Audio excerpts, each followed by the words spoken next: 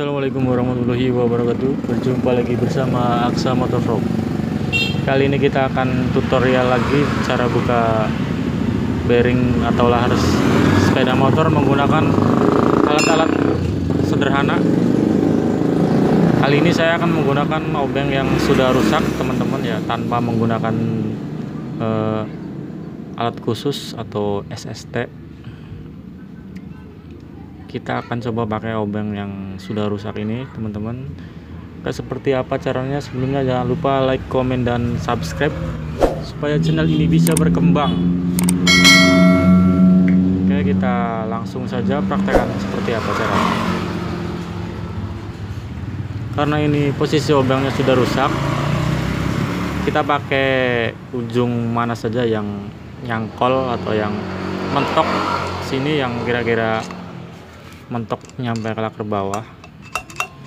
Ini pakai yang ini yang rata aja ya. Kalau pakai yang ini bisa meleset. Jadi coba kita pakai yang ini.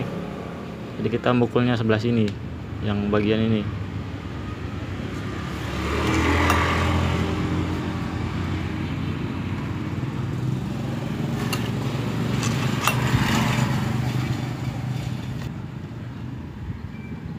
Oke lanjut.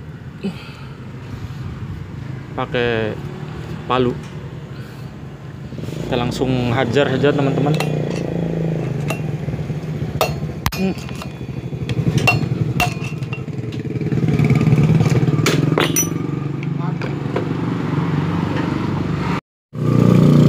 Oke lanjut teman-teman. Ini udah lepas laharnya. Pakai obeng pakai alat sederhana tapi cukup efektif untuk melepas bearing. Apa ya oke ini sudah lepas. Kita lepaskan yang satunya juga ya. Kalau sebelahnya udah lepas kita bisa pakai alat yang lainnya. Contohnya as yang sudah rusak ini. Kita hajar aja langsung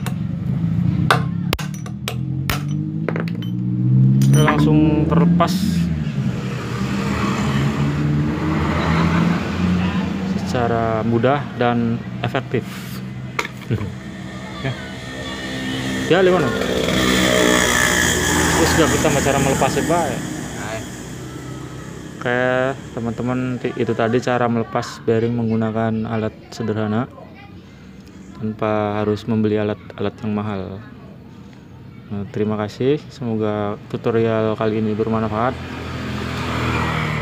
Jangan lupa like, komen, dan subscribe, share juga ke teman-teman kalian. Terima kasih. Wassalamualaikum warahmatullahi wabarakatuh.